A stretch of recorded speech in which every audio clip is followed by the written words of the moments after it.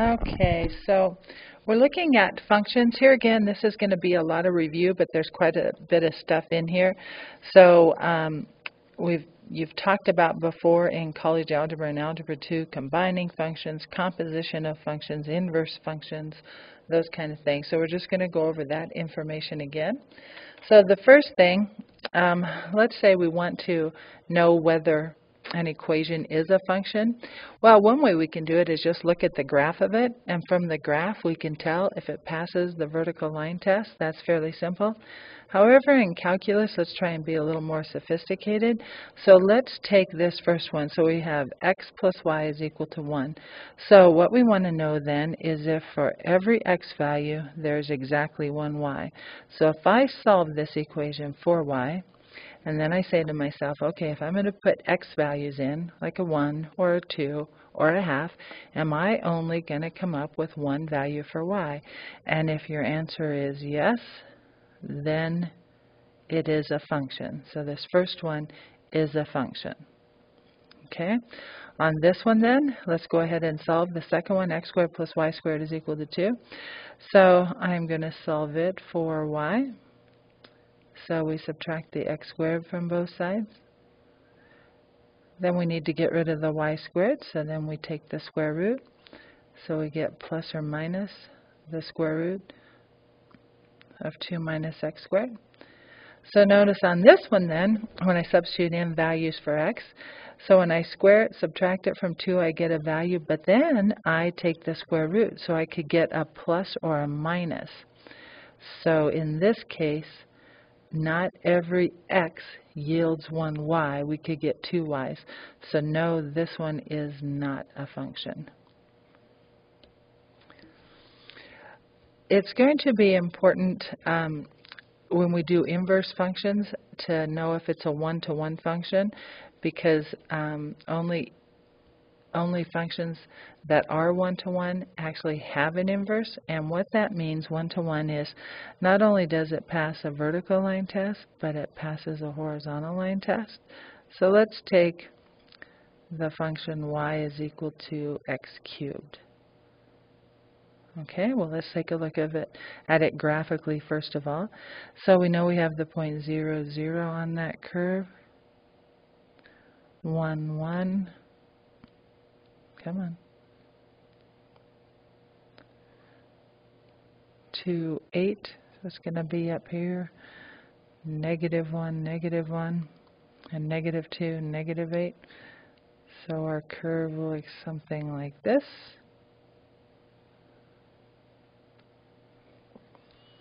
So we can see that it passes a vertical line test. So therefore it is a a function, but for one-to-one -one then, it also has to pass a horizontal line test. And we see that it's crossing only one time. So graphically, it's pretty easy to see that it's one-to-one. -one. Here again, if I look at the equation, and I substitute in an x value, any number that I cube, I'm only going to come up with one value. So for every x, there's one y. Now if I solve it for the x, so I take the cube root of y, so the cube root of y is equal to x. So now if I substitute in a y value in here, and I take the cube root of it, well, because it's a cube root, if it's a positive 8, like we'll get a positive 2. If I substitute in a negative 8, I would get a negative 2. So every y value is also yielding 1x. So um, there is more of a, a more sophisticated way, to see if they're one-to-one -one functions. Okay, you remember evaluating functions.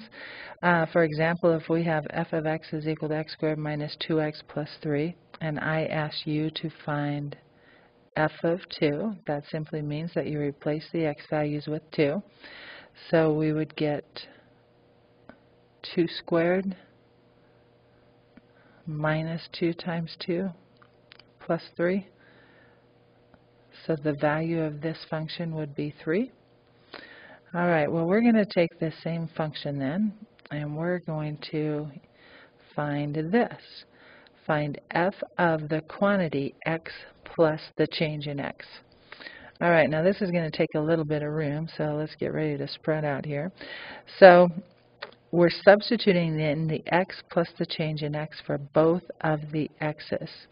So we've got to take that binomial and square it first of all. And then go minus 2 times that quantity.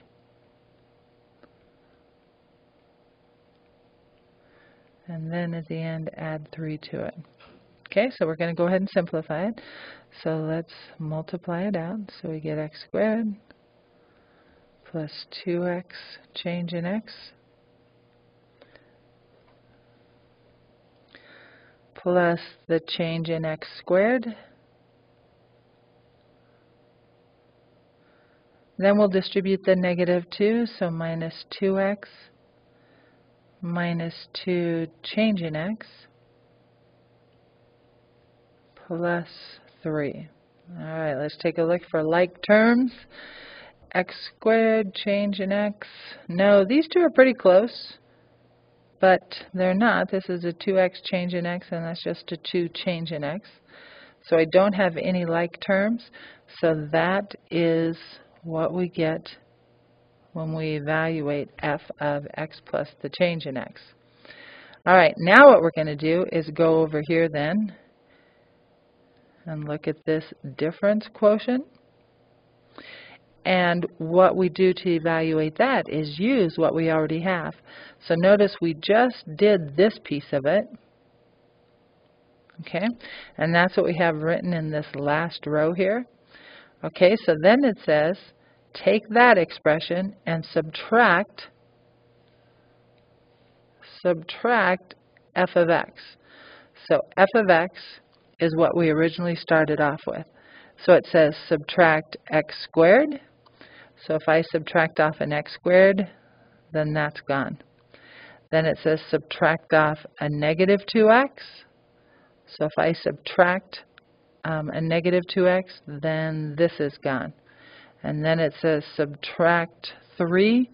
So if I subtract 3, then that is gone. All right, so for the numerator then, we just have left 2x change in x plus the change in x squared minus 2 times the change in x. All right, now it says take that expression, that whole numerator is what we have now, and it says now divide it by the change in x. And notice that the change in x is in each one of those terms up in the numerator, so we can factor it out. So they all have in common a change in x. So if I bring it out to the front then, the first term is now just 2x. The middle term has just a change in x to the first power. We're taking one of them away. And then the last term, we just left with the 2 because we're taking out the change in x. So now that the change in x in the numerator is a factor, now it will reduce.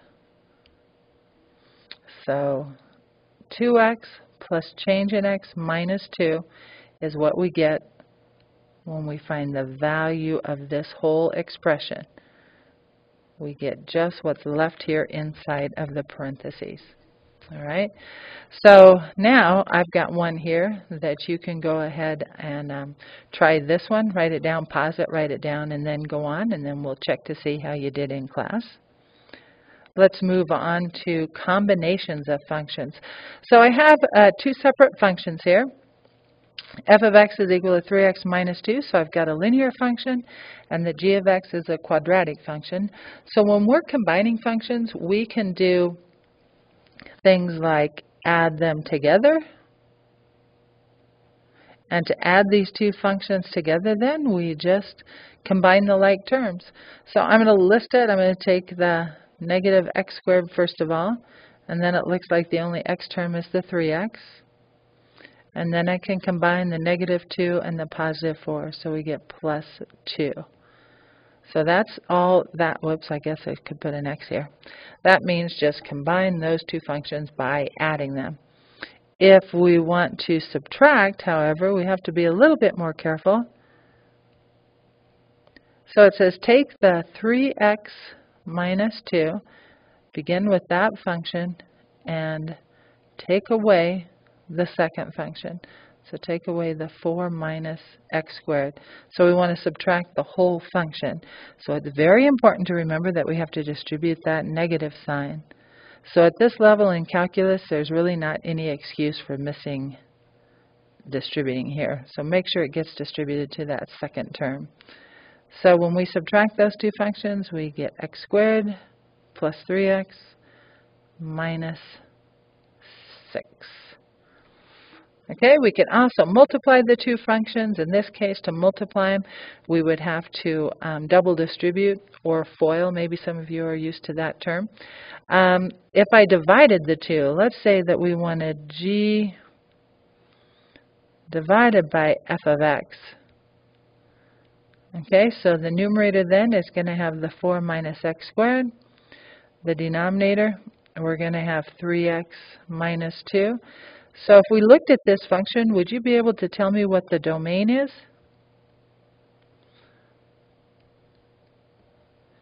So we still need to remember all of that stuff that we did in the last um, chapter. So the domain here, since we have a uh, rational expression, we're concerned about dividing by 0. So we want to see what makes this equal to 0. And it looks like a 2 thirds. So our domain is all real numbers except two-thirds. So that's our only restriction. I'll make that a comment. Okay, that's a quick, quick review of combinations of functions. We'll do more in class. Okay, next we want to look at composition of functions. Now, composition of functions is where uh, you have an inside and an outside function, and you have to apply one rule first before you do um, the other thing. Let's just take two separate functions. Let's say f of x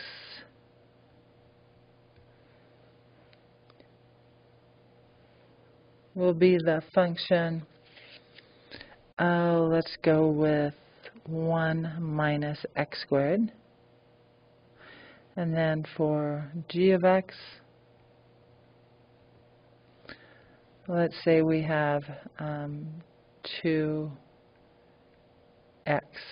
All right, so for the composition, it looks a little bit differently, so you have to be careful.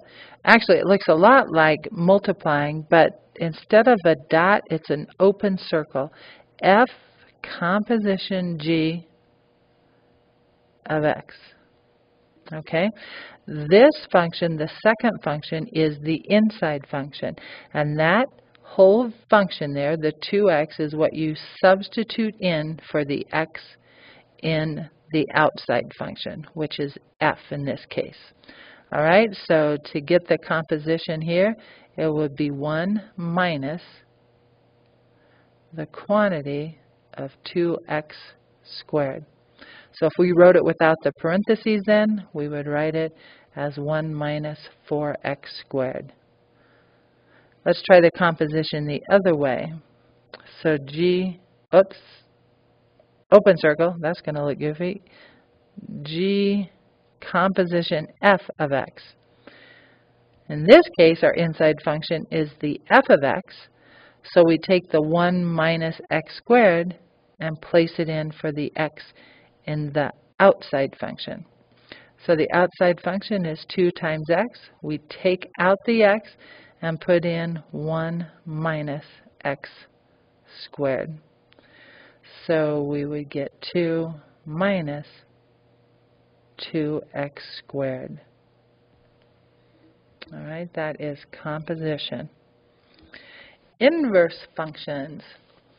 For inverse functions, let's take a look at it um, kind of intuitively, first of all. So let's say that f of x is equal to the function x minus 2 over 3. So if you take a look at this function and we were going to evaluate it for different values of x, and I'd say, well, what would you do? What's the order of operations to evaluate that? Well, given whatever x, you have to subtract 2 from it first of all, and then divide by 3. So the inverse is undoing that process. And remember that has that inverse notation. We have that little negative 1 up in an exponent, and in this case it does not mean the reciprocal of it. It means the inverse. So the inverse of subtracting 2, then dividing by 3, is multiplying by 3, then adding 2. So from the original function then, you go the um, opposite direction and the inverse operation to be able to find the inverse. Now, let's say we wanted to do that algebraically. And algebraically, inverses um, are where we interchange the x and the y values. So if we take the original function f of x, remember the f of x is your y value, well we're going to interchange the y and the x. So the f of x becomes the x, the x becomes the y. So we've interchanged the x and the y, so this then is going to be the algebraic way to come up with the inverse. Now we solve that equation that we have right there for y. So we're going to multiply by 3 and then add 2. So we get y is equal to, okay, sorry about that, that was Haley. All right, so we've got to add the 2 to the other side, so we get 3x plus 2. And what do you know? That's what we came up with intuitively. So there's the algebraic way of finding the inverse.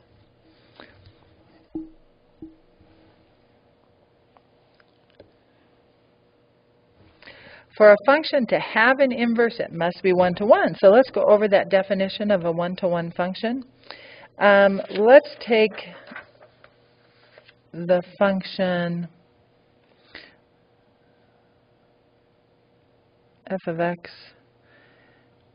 is equal to 2x plus 3. Okay, so we can look at it algebraically since that's a simple linear one. We know what it looks like. Um, it crosses the y-axis at 3. It has a slope of 2. So we get a linear function.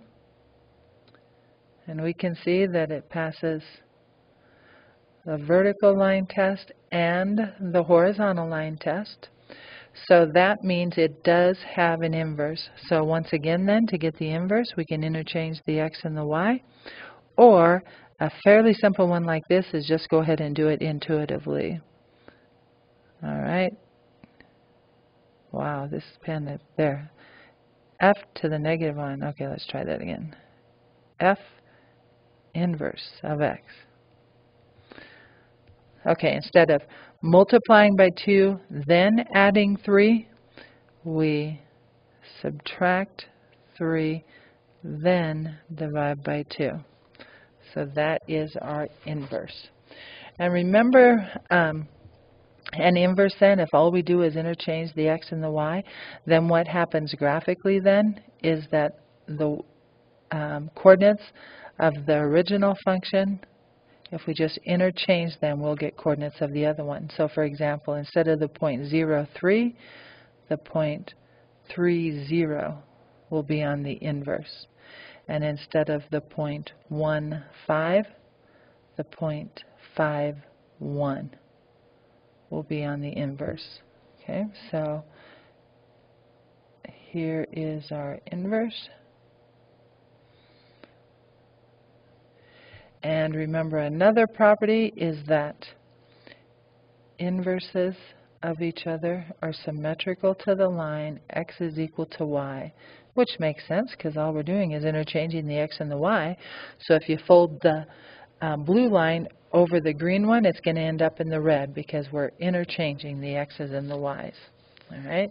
So an example of a function that does not have an inverse would be f of x is equal to x squared. Okay.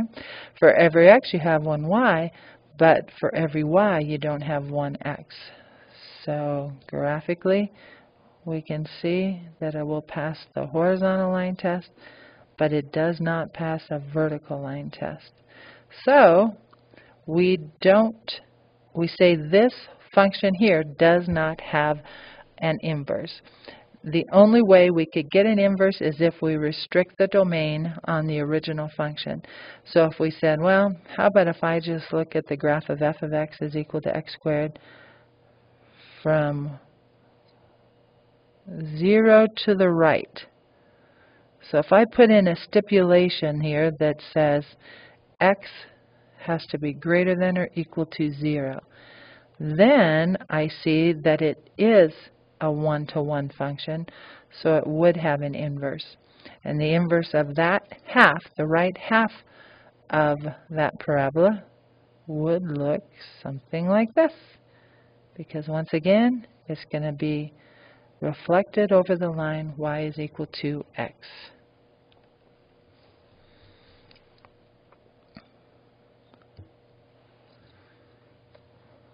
Okay, so I want to, oops, I guess that's not the screen. I don't want to, um, I don't know what happened to that. I got all these screens with the credit on it.